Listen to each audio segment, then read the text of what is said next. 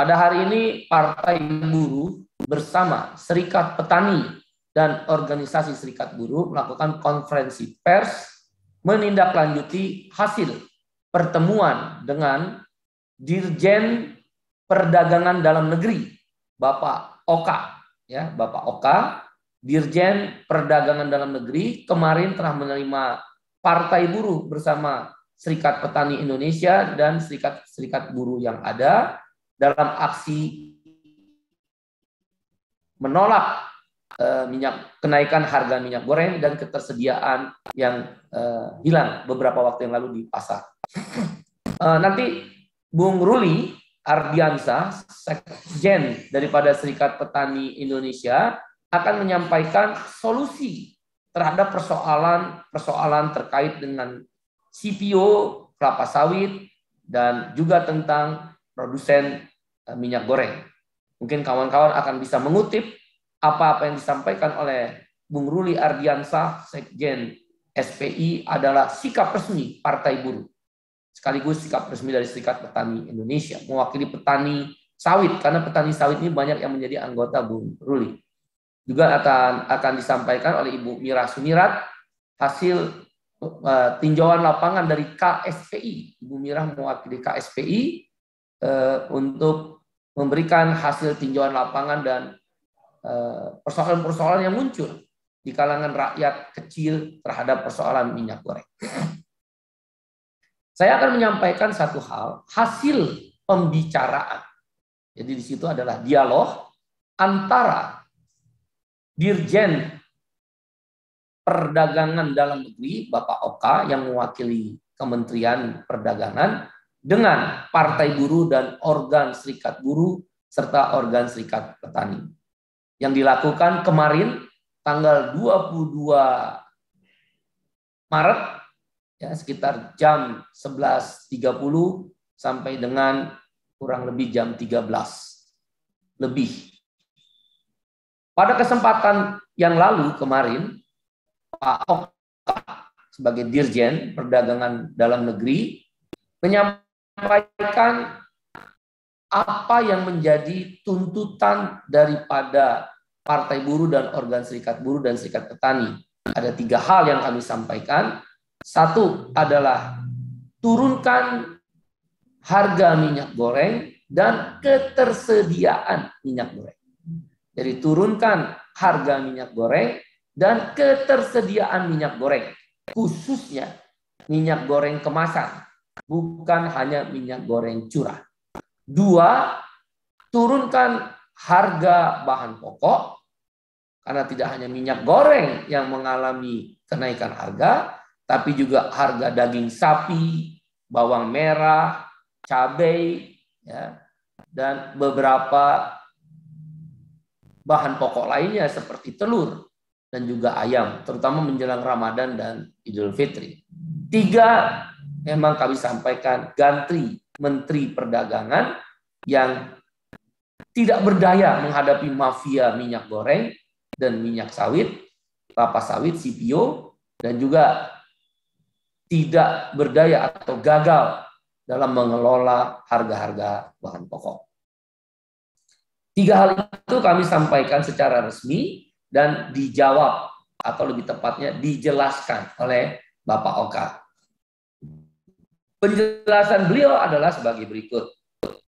Tentang minyak goreng. Beliau menyampaikan bahwa harga CPO atau kelapa sawit mengalami kenaikan di dunia atau harga internasionalnya naik. Yang mengendalikan kan adalah Malaysia dan Rotterdam, Belanda. Cuma bagi kita aneh, padahal Indonesia adalah penghasil sawit terbesar di dunia kenapa dikendalikan oleh Belanda di Rotterdam dan Kuala Lumpur di Malaysia terhadap harga CPO. Dalam penjelasannya, Pak Oka menyampaikan karena harga kelapa sawit meningkat CPO, maka akhirnya sebagai bahan dasar pembuatan minyak goreng, CPO tersebut juga berdampak pada kenaikan harga minyak goreng. Kemudian pemerintah menurut penjelasan beliau membuat aturan main yang disebut DMO yaitu ketersediaan kelapa sawit untuk dalam negeri agar bisa menjadi ketersediaan pembuatan minyak goreng. Domestic Market Obligation. Akibat diberlakukan DMO, menurut beliau, terjadilah kelangkaan minyak goreng karena DMO-DMO yang diserahkan ke kota-kota besar di Indonesia sebagai bahan dasar pembuatan minyak goreng tidak sesuai harapan pemerintah. Atau dengan kata lain, ada mafia atau spekulan-spekulan yang memainkan DMO ini. Ketersediaan uh, kelapa sawit sebagai bahan dasar minyak goreng. Misal beliau menceritakan di drop sekian puluh juta di Medan, tapi justru minyak gorengnya langka. Di, di drop di Jawa Timur puluhan juta liter, kemudian juga di drop di Jakarta puluhan juta liter, tetapi minyak gorengnya langka. Terjadi permainan mafia atau permainan spekulan. Sehingga ketersediaan minyak goreng kemasan, termasuk minyak goreng curah, hilang di pasaran. Karena situasi itu, pemerintah dalam hal ini Kementerian Perdagangan merubah strategi menurut penjelasan beliau, yaitu kalau dengan DMO itu harga eceran tertinggi dikendalikan oleh pemerintah untuk minyak goreng kemasan, yaitu Rp14.000 per liter. Dengan model DMO ternyata terjadi kelangkaan harga eceran tertinggi Rp14.000 sesuai dengan harapan rakyat, tapi minyak goreng langka.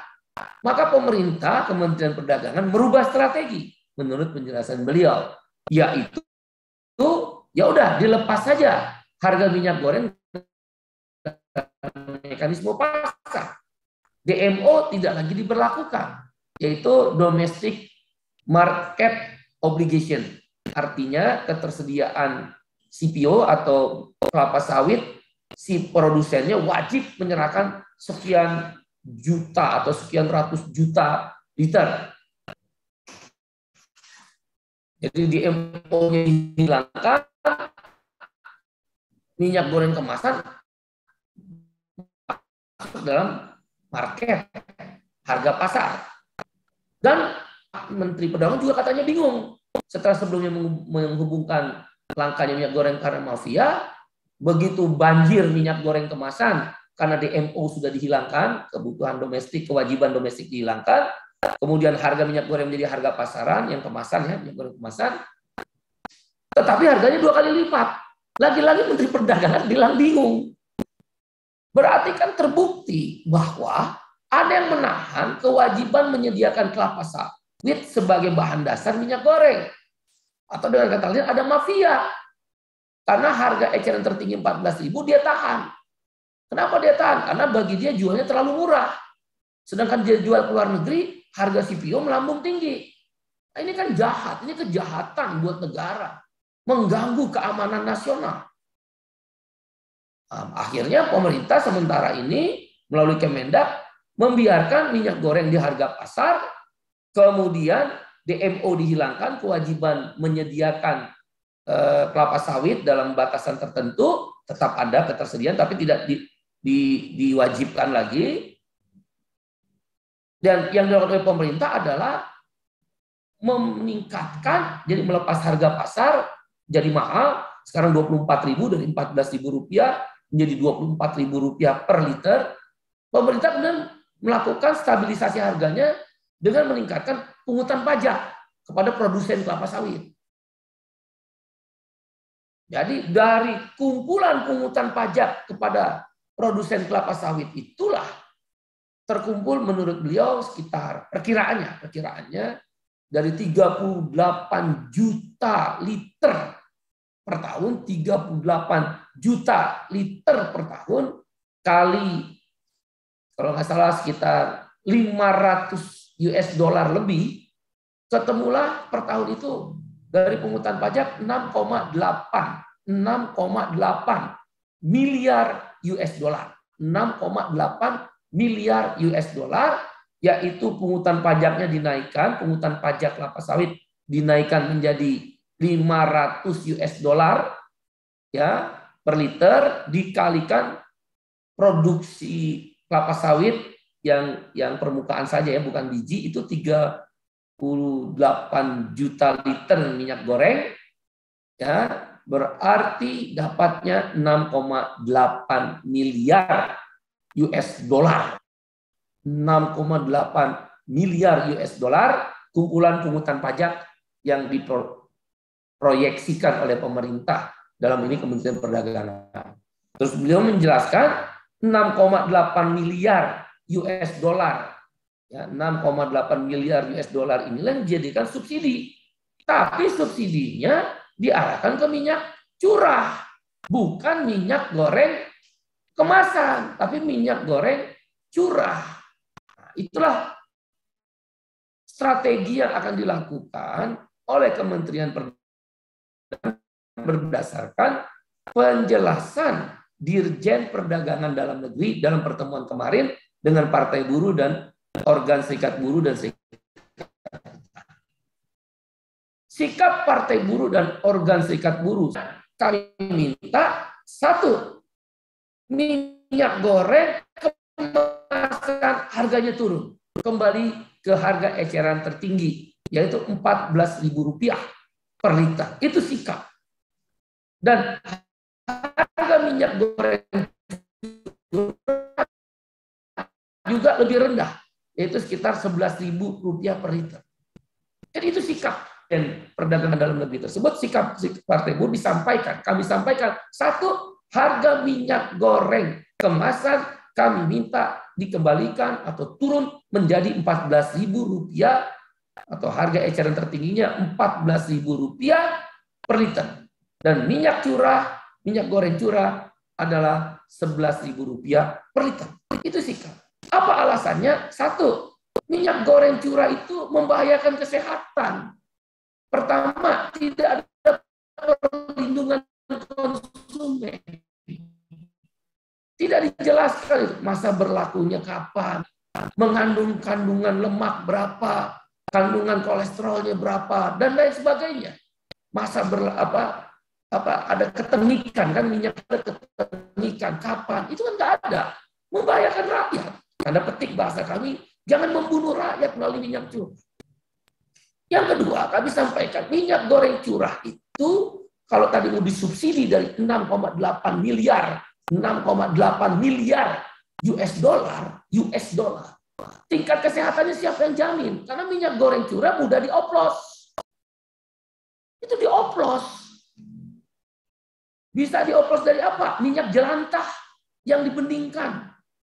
Berapa banyak minyak jelantah? Minyak jelantah itu bekas gorengan. Misal abang-abang goreng, ibu rumah tangga goreng. Kan bekas itu berbahaya. Udah minyak jenuh. Bisa membunuh itu lemak. Lemak jenuh itu. Kami sampaikan itu. Nah itu dioplos. Bagaimana negara bisa mengontrol itu? Berbahaya. Kalau minyak goreng kemasan, dia melindungi konsumen. Ada kandungan lemaknya berapa, ada masa berlakunya kapan, titik ketengikannya kapan. Kesehatannya misal natrium natrium kandungan gulanya atau kandungan garamnya kan ada. Dan minyak goreng kemasan selain melindungi konsumen juga tidak bisa dioplos. Kalau oplos pasti rugi. Kalau minyak goreng udah ada perlindungan konsumen, tidak ada kandungan-kandungan, dia bisa dioplos. Jangan membunuh rakyat kami bilang partai buruh sikapnya begitu. Oleh karena itu 6,8 miliar 6,8 miliar dana yang didapat akibat membebaskan harga pasar minyak sawitnya ya bukan minyak goreng nih. Harga pasar minyak sawit CPO-nya dibebaskan ikut mekanisme pasar, kemudian pajak pungutannya pungutan pajak dinaikkan, kumpulan pungutan pajak kelapa sawit, bukan minyak goreng. Kumpulan pajak kelapa sawit 6,8 miliar US dollar tersebut, dia disubsidi ke minyak goreng kemasan. Bukan minyak goreng curah yang berbahaya itu. Kan Permendak sebelumnya juga melarang minyak goreng curah. Karena bisa dioplos, bahaya sekali. Dan tidak ada perlindungan konsumen. Nah, dengan demikian 6,8 miliar US dollar dari kumpulan pungutan pajak terhadap ekspor kelapa sawit, dia harus disubsidi yang pertama ke minyak goreng kemasan. Supaya harganya murah. Menuju HET tadi. Dan minyak goreng curah, silakan. Maka dengan subsidi dari 6,8 miliar pungutan pajak sesuai mekanisme pasar harga kelapa sawit di dunia, minyak goreng eh, kemasan bisa turun menjadi 14 ribu. Itu yang kita minta. Bagaimana caranya? Ya tugas pemerintah dong. Masa rakyat selalu mikir. Nah, dalam kesempatan itu beliau juga menawarkan, tapi sifatnya usulan. Bagaimana tetap minyak goreng kemasan itu harganya 24.000 per liter. Tapi subsidinya bukan di harga minyak goreng, tapi subsidinya kita kasih BLT. Kita tolak. Partai buruh menolak. Karena kalau pakai BLT, pasti itu korupsi. Pasti. Menteri, saya, saya sampaikan seperti itu. Tunjukkan pada kami menteri sosial yang tidak korupsi. Sebelum Bu Tri Risma ini, semua terjebak korupsi KPK. Dan selalu persoalannya adalah bansos dan BLT. Oleh karena itu subsidi dalam bentuk BLT kami tolak. Tapi subsidi harus di harga, yaitu di harga minyak goreng kemasan dari 24 ribu, berarti subsidi 10 ribu per liter akan ketemu harga eceran ter, tertingginya 14 ribu rupiah per liter. Begitu. Nah, beliau menyampaikan akan menyampaikan ke menteri. Ada sudut pandang yang berbeda. Kalau pemerintah dalam Menteri Perdagangan bahwa subsidi 6,8 miliar US dollar dari pungutan pajak penjualan kelapa sawit sesuai dengan harga internasional, dia mau subsidinya ke minyak goreng curah. Kami tolak karena ada dua alasan.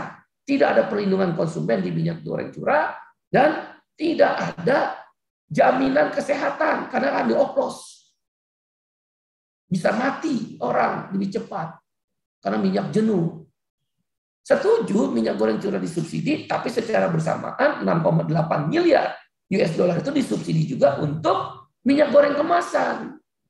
10 ribu berarti kira-kira per liternya subsidinya. Dari mana dananya? Yang tadi, kumpulan pungutan pajak penjualan minyak sawit yang harga internasional, yang jumlahnya kata diproyeksikan 6,8 miliar US dollar. Jadi akan terjadi kembali ke harga normal. Kami sampaikan argumentasi berikutnya. Ingat, perintah konstitusi alasan kedua. Kenapa kami minta subsidinya ke harga minyak goreng kemasan dan minyak goreng curah. Bukan hanya untuk minyak goreng curah subsidi dan bukan dalam bentuk BLT subsidinya. Di mana minyak goreng kemasan tetap harga pasar. Kita tolak. Itu alasan yang pertama, tadi sudah saya sampaikan. Alasan kedua yang kami sampaikan menolak pemikiran daripada Kementerian Perdagangan, kami menyampaikan konstitusi tertinggi Undang-Undang Dasar 1945 menyatakan bumi, air, kekayaan alam lainnya dikuasai oleh negara. Sawit itu bumi, beras itu bumi, air itu ikan, air bersih, Kekayaan alam lain pertambangan itu dikuasai negara. Negara nggak boleh kaya mafia. Bukti apa mafia? Waktu ditentukan harga eceran tertinggi minyak goreng 14 ribu rupiah, langka. Indomaret, Alfamart, kan udah tahu 200-an pemain produsen minyak goreng. Kan udah tahu Kementerian Perdagangan. Dan pengedarnya itu ya Indomaret, Alfamart terutama. Dan super apa supermarket supermarket lainnya tahu begitu harga eceran ditiadakan oleh pemerintah pakai harga pasar minyak goreng penuh. Itu berarti ada yang ditimbun tangkap. Negara nggak boleh kalah sama apa-apa mafia. Oleh karena itu bumi air kekayaan alam lainnya dikuasai oleh negara digunakan sebesar-besarnya untuk kemakmuran rakyat. Ada ibu-ibu mengantri. Itu bukan kemakmuran rakyat. Beli loh bukan gratis loh Ibu-ibu mau beli. Ada yang meninggal bahkan. Anak-anak menangis, ibu-ibu menjerit. Oleh karena itu kami tolak. Minyak goreng kemasan tetap mahal, kami minta turunkan menjadi harga eceran tertinggi melalui subsidi yang dikumpulkan dari pajak penjualan kelapa sawit dengan harga internasional. Yang ketiga, alasan kami, daya beli masyarakat lagi turun 30 persen. Saya ulangi, daya beli masyarakat lagi turun 30 persen. Karena apa? Tiga tahun berturut-turut upah buruh tidak naik. Tiga tahun berturut-turut upah buruh tidak naik. Dengan demikian daya beli buruh dan masyarakat kecil turun 30 persen. Itu hitungan partai buruh. Karena daya beli turun, jadi jangan melihat hanya sekedar main harga naik, harga turun. Lihat juga daya beli. Sudahlah daya beli turun 30 persen karena upah buruh tidak naik selama tiga tahun, masa harga minyak goreng naik? Nah, daya beli yang turun itulah kami tolak kalau harga minyak goreng kemasan tidak turun.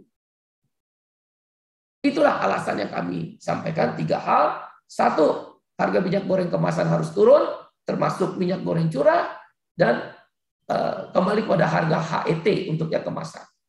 Kami tolak hanya subsidi ke harga minyak goreng curah karena itu membahayakan kesehatan. Yang kedua nggak ada perlindungan konsumen, membunuh rakyat itu untuk jangka panjang.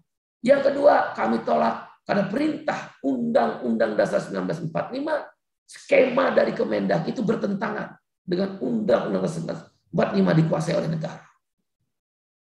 Yang ketiga adalah tentang daya beli buruh dan masyarakat kecil turun 30 persen, sehingga harga minyak goreng yang naik kepada harga eh, pasar internasional itu memberatkan. Yang disubsidi, kesimpulan yang disubsidi adalah harga minyak goreng kemasan sebesar 10.000 per liter, sehingga turun menjadi 14.000 per liter, dan hanya harga minyak goreng curah kembali di 9.000 sampai 11.000 rupiah per liter. Demikian hasil pertemuan kemarin dan kami memberi waktu satu kali tujuh hari.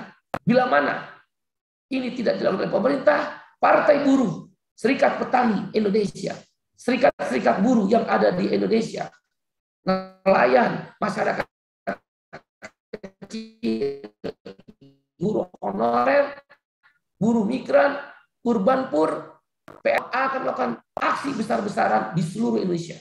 Partai buruh sudah ada di 34 provinsi, 483 kabupaten kota, dan kami punya sudah ada lebih 3.600 kecamatan lebih.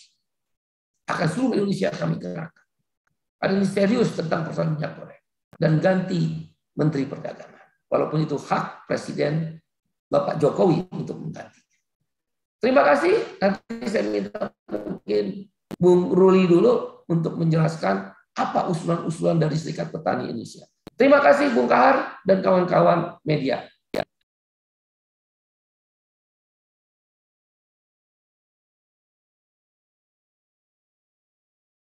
Assalamualaikum warahmatullahi wabarakatuh. Selamat siang, salam sejahtera bagi kita semua. Eh, terima kasih kepada eh, para media yang sudah hadir dalam konversi pers eh, Partai Buruh ini bersama Serikat Buruh dan Serikat Petani. Saya akan menyampaikan beberapa hal. Yang pertama adalah bahwa ini membuktikan kalau persoalan pangan, terkhususnya juga minyak goreng ini, dikuasai oleh korporat oleh perusahaan-perusahaan uh, besar sehingga uh, proses terjadinya kelangkaan, hilangnya minyak dan juga pengendalian itu tidak uh, bisa dikontrol oleh negara. Artinya sudah jelas perusahaan-perusahaan uh, perkebunan kelapa sawit lebih memang memilih untuk melakukan ekspor karena harga internasional lebih uh, lebih ekonomis. Nah, maka dari itu uh, Serikat Petani Indonesia yang tergabung juga di dalam Partai Buruh menetapkan program kedaulatan pangan itu menjadi program strategis di dalam 13 uh, platform program Partai Buruh. Nah, saya mau mau menguraikan dari mulai hulu mengenai bagaimana kebijakan pangan, kedaulatan pangan yang sebenarnya harus dilakukan oleh pemerintah. Pertama adalah dari segi penguasaan lahan perkebunan eh, kelapa sawit. Jelas Di situ rakyat, perkebunan-perkebunan kelapa sawit rakyat masih sangat uh, jauh dengan perkebunan-perkebunan yang dimiliki oleh perusahaan-perusahaan besar. Paling tidak ada 9 sampai 10 perusahaan besar yang menguasai uh, apa uh, perkebunan kelapa sawit dan juga menguasai persoalan uh, tata niaga CPO sebagai bahan dasar uh, minyak uh, goreng ini. Yang kedua, menurut saya ini juga terlihat bagaimana juga industri pengolahan kelapa sawit menjadi produk-produk turunan itu juga dikuasai oleh oleh perusahaan-perusahaan besar tersebut, oleh pihak swasta. Nah, kita bisa bisa uh, tanya nanti misalnya perkebunan-perkebunan BUMN perkebunan kelapa sawit itu apakah sudah punya infrastruktur sampai industri pengolahan uh, uh, apa uh, minyak goreng atau produk-produk turunan dari uh, kelapa sawit yang lainnya itu sangat sangat sangat sedikit gitu dan juga perkebunan-perkebunan yang dimiliki oleh uh, rakyat itu juga artinya perlu ada penguatan dan juga perlu ada perluasan masih terjadi ketimpangan penguasaan lahan khususnya perkebunan kelapa sawit di antara perusahaan-perusahaan besar dengan rakyat. Maka program reforma agraria itu menjadi program yang strategis untuk kita mau mewujudkan kedaulatan pangan dimulai dari hilir. Yang kedua, mengenai industri pengolahan, pabrik-pabrik pengolahan, itu juga harus didorong bagaimana pabrik-pabrik kelapa sawit di tingkat lokal yang dikelola oleh koperasi, yang dikuasai oleh keluarga petani, itu juga harus didorong sehingga pangan itu dikuasai oleh rakyat dan dikuasai oleh negara, bukan dikuasai oleh perusahaan-perusahaan e, besar. Nah, yang selanjutnya adalah bagaimana memang memberikan jaminan harga terhadap petani dan juga harga kepada masyarakat miskin yang kota. Nah, eh, saat ini harga eh, sawit itu sedang eh, apa sedang eh, tinggi di tingkat internasional. Ini juga berdampak terhadap eh, artinya nilai tukar petani di di sektor perkebunan, misalnya petani-petani anggota SPI yang eh, punya perkebunan-perkebunan eh, mandiri, eh, swadaya di tingkat eh, apa di tingkat eh, tapa. Tapi ini menurut kami dan juga laporan dari berbagai anggota kita di berbagai daerah bahwa ini sebenarnya tidak sepenuhnya dinikmati bisa dinikmati dengan harga uh, kelapa sawit yang uh, relatif uh, apa meningkat ini karena biaya produksi untuk kelapa sawit ini juga itu semakin naik pupuk subsidi hilang pupuk non subsidi itu sangat mahal bisa 100 sampai 150 kali lipat naiknya gitu. Sehingga sebenarnya ya tidak juga menikmati sepenuhnya dengan harga sawit yang tinggi di tingkat uh, internasional. Belum lagi petani sawit kita ini kan juga dia sebagai konsumen minyak kelapa apa minyak minyak goreng ini, minyak goreng dari kelapa sawit. Dan dia juga merasakan bahwa yang dengan kebutuhan minyak gorengnya ternyata juga tidak apa menambah uh, biaya kehidupan dari keluarga uh, petani itu. Karena kita belum mempunyai uh, pengolahan industri kelapa sawit menjadi misalnya minyak goreng yang dikuasai oleh petani atau melalui koperasi-koperasi petani di tingkat lokal. Nah, yang selanjutnya adalah bahwa memang biaya ada pemungutan pajak oleh namanya Badan Pengelolaan Dana Perkebunan Kelapa Sawit. Itu adalah pajak ekspor. Nah, ini harusnya juga kita kita lihat berapa pendapatan pajak uh, ekspor uh, kelapa sawit yang diambil dari dari perusahaan-perusahaan kelapa sawit yang melakukan ekspor dan berapa yang dipergunakan untuk sebenarnya untuk uh, permajaan, untuk pembangunan perluasan kelapa sawit, perkebunan kelapa sawit untuk rakyat, itu kita perlu evaluasi. Saya mendapat informasi justru dana-dana pungutan ekspor eh, kelapa sawit, perkebunan kelapa sawit, justru sebenarnya juga lebih banyak dinikmati oleh perusahaan-perusahaan besar itu. melalui misalnya untuk uh, apa untuk untuk pembangunan biodiesel, untuk juga misalnya untuk uh, apa mendukung uh, produksi produk-produk yang lain komes apa kosmetik dan juga misalnya obat-obatan. Dan juga itu uh, harus kita harus kita uh, lihat dan harus kita audit itu. Badan pengelolaan dana perkebunan kelapa sawit itu bisa ratusan triliun. Nah, saya dapat informasi dan ini perlu kita kita juga sampaikan nanti kepada eh, DPR yang rencananya akan membuat pansus untuk mengaudit tuh dana-dana uh, yang dikelola oleh Badan Pengelolaan Dana uh, apa uh, perkebunan kelapa sawit. Dan tentunya memang negara harus hadir, harus kuat menurut kita. Jadi kalau mereka tidak mau misalnya eh, menyediakan memenuhi kebutuhan minyak kelapa dalam negeri, artinya kan negara punya instrumen lain, mencabut izin ekspornya, kenapa? Atau dibatasi, atau mencabut HGU-nya, perkebunan-perkebunan sawit mereka.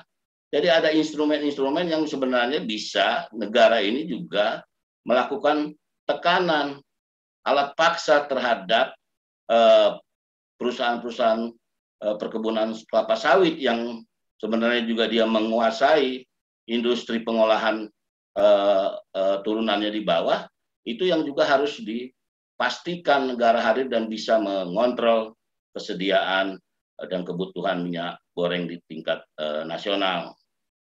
Nah, kita akan lihat dalam satu minggu seperti yang disampaikan oleh Presiden tadi Partai Buruh Bung Said Iqbal karena satu minggu lagi kita tahu bahwa kita akan segera juga melaksanakan bulan suci Ramadan dan kita ingin bahwa persoalan minyak uh, goreng ini juga bisa selesai sehingga uh, masyarakat bisa juga melakukan uh, apa uh, uh, di bulan Ramadan ini dengan tenang tidak ada persoalan-persoalan kenaikan-kenaikan harga atau kelangkaan-kelangkaan bahan pokok. Nah ini yang menurut saya juga harus tegas. Sudah jelas bahwa Menteri juga menyatakan tidak sanggup melawan mafia. Sementara ada aparat keamanan, ada instrumen-instrumen yang bisa kita pakai tadi, misalnya mengurangi atau mencabut izin ekspor, mencabut dan juga mengaudit tentang eh, apa HGU HGU perkebunan kelapa sawit yang mereka yang mereka miliki. Dan kita harus mendorong bagaimana memang kedaulatan pangan, produksi pangan itu dikuasai oleh rakyat berbasiskan keluarga petani dan juga dikuasai oleh negara. Kalau persoalan pangan masih dikuasai oleh pihak swasta dan eh, mafia-mafia yang sekarang ini uh, ada, ya mereka akan lebih memilih memang mekanisme pasar, di mana harga internasional di luar lebih lebih lebih baik, lebih ekonomis, dia akan lebih menjual ke mengeluarkan uh, produknya keluar daripada memang untuk mementingkan kebutuhan uh, nasional. Mungkin itu dulu yang bisa saya sampaikan dan uh, nanti bisa uh, ditambahkan dalam mungkin diskusi-diskusi yang lebih lanjut. Terima kasih.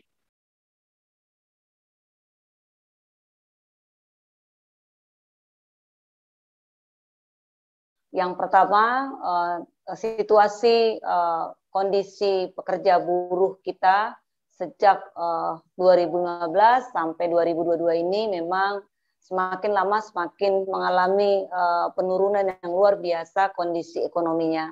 Dan memang sekali lagi saya tegaskan kondisi para pekerja buruh kita sedang tidak saja dengan dihantam uh, apa atas nama Undang-Undang Cipta Kerja diterbitkan, kemudian ada pandemi COVID, kemudian upah di tahun 2021 tidak naik gitu ya. Kemudian banyak sekali regulasi-regulasi yang diterbitkan juga sangat-sangat tidak pro terhadap para pekerja buruh. Sekarang ditambah lagi tentang adanya uh, tingginya ya tingginya harga barang-barang kebutuhan pokok yang uh, kita sangat sangat ini saat ini sedang merasakan. Uh, kondisi kenaikan harga barang pokok ini uh, yang pertama adalah salah satunya adalah minyak goreng tentu makin makin memperkuat makin memperkuat uh, turunnya atau juga kondisi ekonomi uh, para pekerja buruh kita. Dan di situasi ini tentu uh, kami meminta kepada negara, kepada pemerintah untuk kembali lagi, untuk kembali lagi menjalankan fungsinya sebagai pelayan-pelayan uh, rakyat dalam hal ini pemerintah, yaitu masuk lagi me, me, apa, menjalankan konstitusi Undang-Undang Dasar 45 yaitu memberikan pekerjaan dan penghidupan yang layak bagi seluruh rakyat tanpa kecuali.